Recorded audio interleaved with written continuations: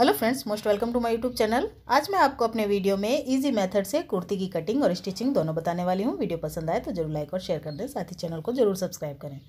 तो इसका नाप मैंने लिख रखा है, कुर्ती शॉर्ट है थर्टी थ्री जो है इसका, लंबाई है लेंथ सीना तीस, कमर अट्ठाईस इंच शोल्डर है चौदह इंच आस्तीन की लंबाई साढ़े तीन इंच और उसकी जो गोलाई है वो है ग्यारह इंच गला हमें बनाना है आगे साढ़े छः और पीछे आठ। दोनों में राउंड नेक है।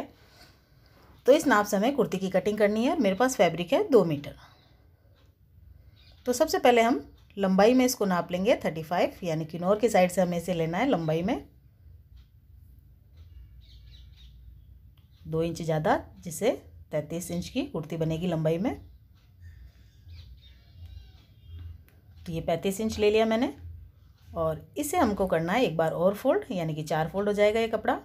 और इसको लगभग मैंने ले लिया है साढ़े दस ग्यारह इंच में। चेस्ट के अकॉर्डिंग ही कुर्ती का घेर भी होता है। और यहाँ पर देखिए शोल्डर है चौदह इंच, यानी कि सात। लेकिन अब हमें ये सात लेना नहीं है। जिस तरह से हम ब्लाउज़ में पीछे गले के अकॉर्डिंग कम करते हैं, उसी तरह से हमें इसमें भी पीछे के गले के अकॉर्डिंग कम करना है। यानी कि आठ इंच गला है तो हम इसमें से डेढ़ इंच कम कर लेंगे।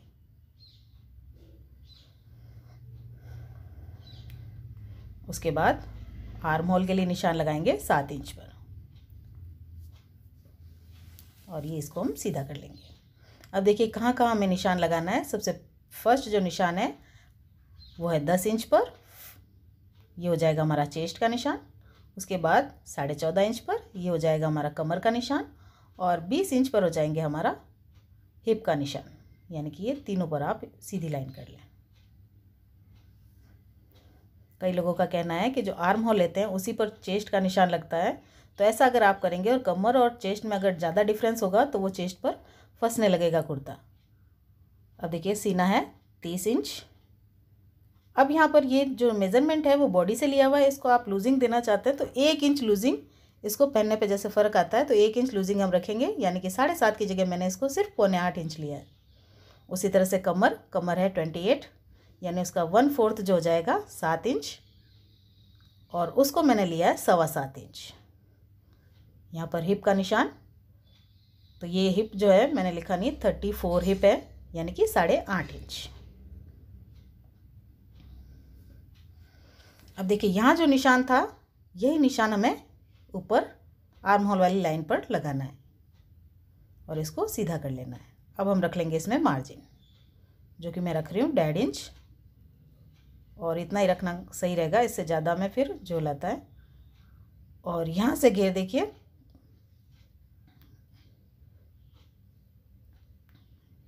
जो हमने किया था, लगभग साढ़े दस इंच है ये,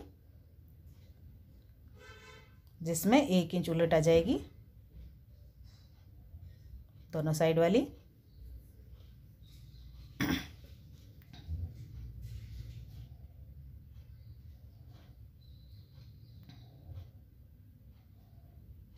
और ये आर्म होल की गोलाई दे देंगे।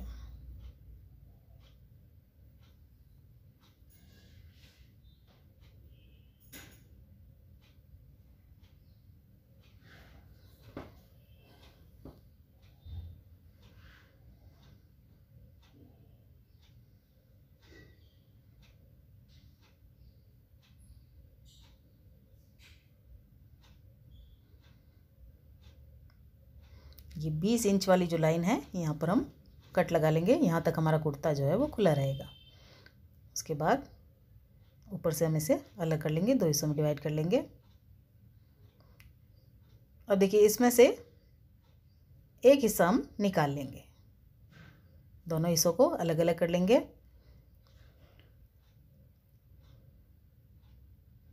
अब देखिए, पीछे का गला जो है हमारा आठ इंच है। तो यहाँ से मैंने लिया है इसको सवा दो इंच।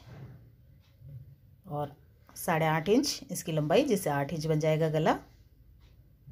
और नीचे से आप इसको हल्की सी चौड़ाई दे सकते हैं, बहुत ज़्यादा नहीं, लगभग ढाई इंच। और राउंड नेक है, और पीछे वाला गला तो है, वो हम बना लेंगे पट्टी से। उसके बाद आगे के लिए आगे के लिए भी वैसे तो राउंड नेक ही है, लेकिन हम इसे बनाएँगे बुकरम से तो सिर्फ़ एक लाइन बना लें, बीच वाला सेंटर और कट लगा लें थोड़ा सा। और ये है आर्म होल अब यहाँ पर हमारा मार्जिन तो था डेढ़ इंच तो यहाँ तक इसे आप आधा इंच गहराई दे दें।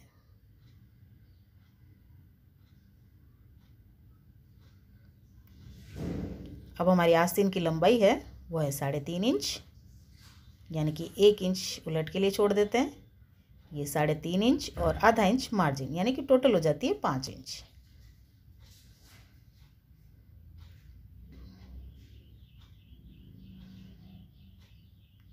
और यहाँ से हम इसका निशान लगाएँगे ढाई इंच पर।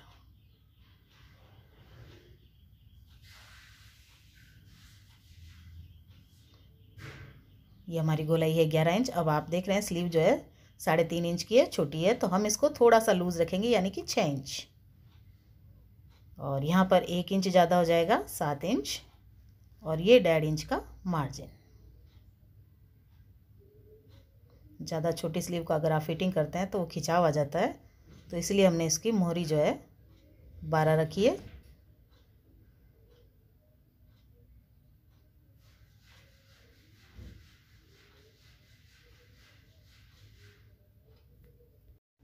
तो इस तरह से हमारी स्लीव कटिंग हो जाएगी। कट का निशान लगा देंगे और आगे के लिए दो हिस्सों को गोलाई देनी है हमें।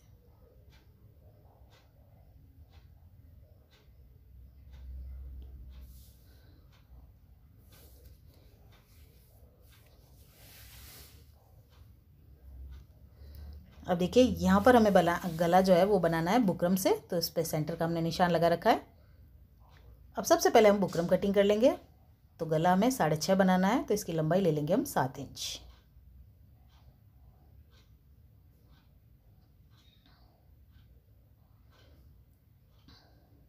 और इसकी चौड़ाई जो है, ऊपर से लेंगे हम ढाई इंच। जिससे पाँच इंच का गला बनेगा।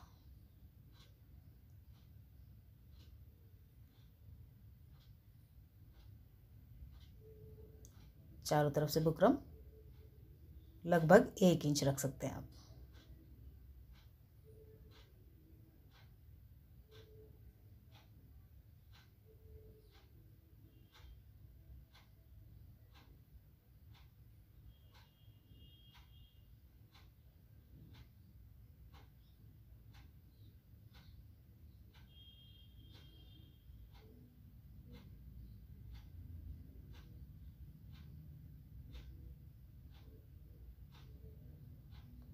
तो ये राउंड नेक में। आप डिज़ाइनर भी बनाते गला तो इसी पैटर्न से आप बना सकते हैं। तो मैंने इसको कपड़े पर चिपका लिया है। अगर आपके पास सिंपल बुकरम है तो आप उसको सिलाई के साथ में अटैच कर सकते हैं। और आधा इंच जो दूरी से हमने कपड़ा कटिंग किया था, उसको हम फोल्ड कर देंगे।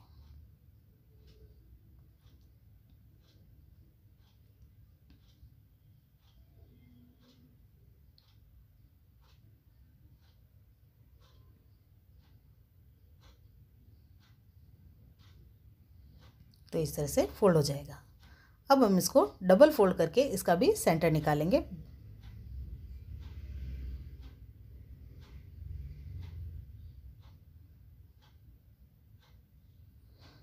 और जो कुर्ती का सेंटर था, उस पर इसको रखना है हमें। आप चाहें तो पिन वगैरह लगाकर इसको अटैच कर सकते हैं या फिर इस तरह से सिलाई लगाकर बीचों बीच अटैच करते हैं ताकि वो सिरके नहीं। और अब हमें चारों तरफ़ से इसको सिलाई लगानी है। ये सिलाई हमें बुकरम पर नहीं चलानी है, बिल्कुल बुकरम के पास पास चलानी है।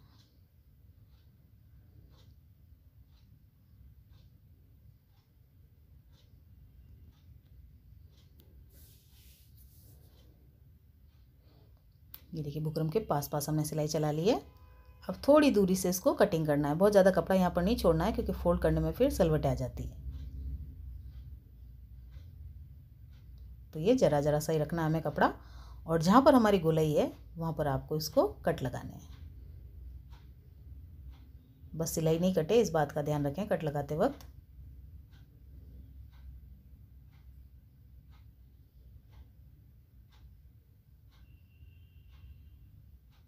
और फोल्ड करने के बाद में कॉर्नर कॉर्नर पर एक सिलाई लगानी है। आप चाहें तो प्रेस से भी इसको जमा सकते हैं। और दूसरी साइड अगर आप सिलाई चलाते हैं तो सिलाई चला सकते हैं और मैं यहाँ पर करने वाली हूँ तुरपाई। तो इसलिए मैं उसे ऐसे ही रहने दूँगी। अब ये है पीछे वाला नेक जिसे हमें ओरेब पट्टी से बनाना है। तो एक इंच की ओरेब ले ली है मैंने। अब जहाँ तक सीधा है, वहाँ तक हमें इस पट्टी को खींचना है हल्का सा और जहाँ गले की गोलाई आ जाती है, वहाँ पर हम इसको लूज़ रखेंगे।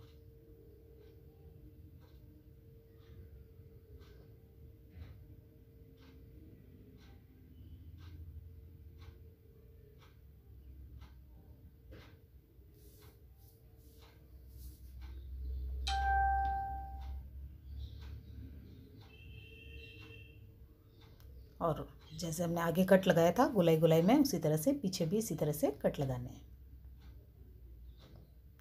और अब इस पट्टी को बिठाने के लिए पट्टी पर एक सिलाई लगा देंगे।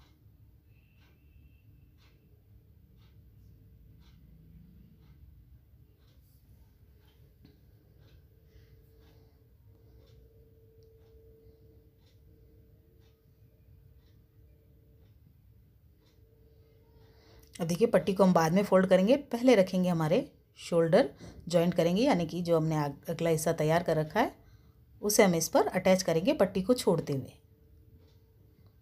जो पीछे की पट्टी है, उसको छोड़ते हुए शोल्डर अटैच करने के बाद इस पट्टी को हम फोल्ड करेंगे ये इस तरह से।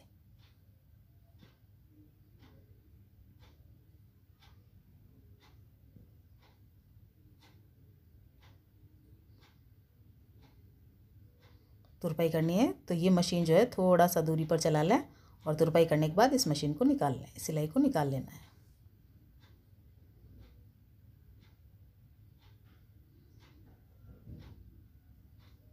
अब ये हमारी स्लीव जो मैंने एक इंच आगे से फोल्ड कर दी है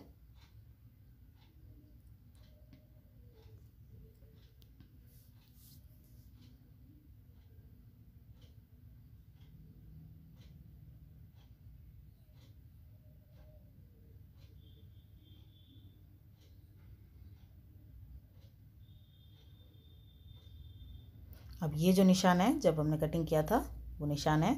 तो यहाँ पर हमें चलानी है अपनी सिलाई और स्लीव नाप लेनी है। स्लीव हमें बारह रखनी है, यानी कि हाफ़ हो जाएगा छः इंच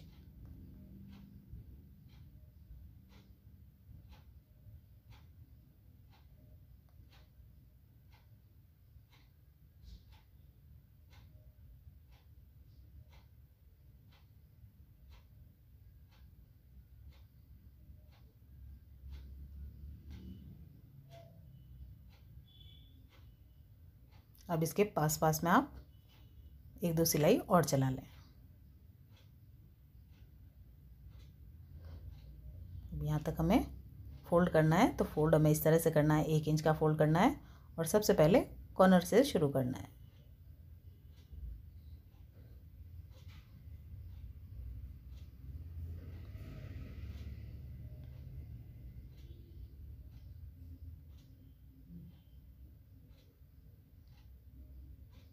उसके बाद दूसरी सिलाई से इसको फोल्ड करना है।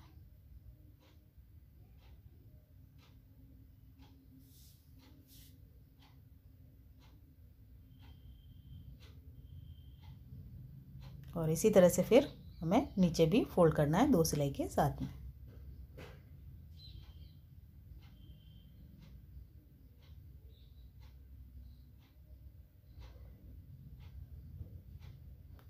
तो फ्रेंड्स आपको मेरा वीडियो कैसा लगा? पसंद आया तो ज़रूर लाइक और शेयर कर दें।